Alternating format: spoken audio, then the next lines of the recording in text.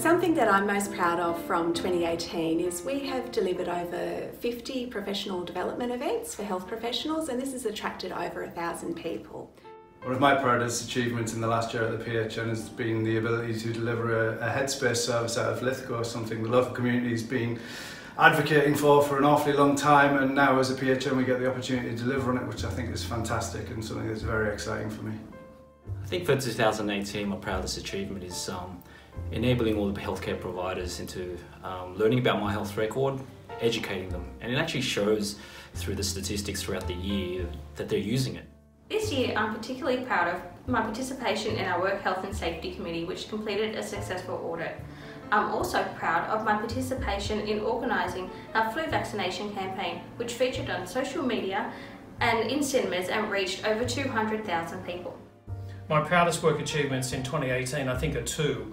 The first is that I've been able to bring the perspective of the practicing GP to the day-to-day operations of, the, of uh, these PHN programs and the LHD. Second, I'm proud of being part of this uh, movement where all healthcare workers in the Nepean, Blue Mountains, Hawkesbury and Lithgow region uh, can start talking about our region, our healthcare system and our healthcare delivery.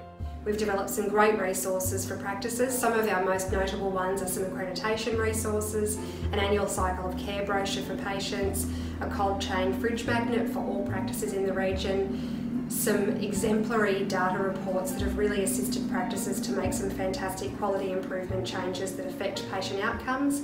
And on top of all of this, we've managed to see over 95% of all practices in the region.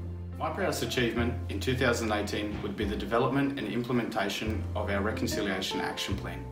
My proudest work moment this year would have to be achieving uh, grant funding from the Australian College of Mental Health Nurses to pilot a project working at reducing social isolation in older Australians in our region.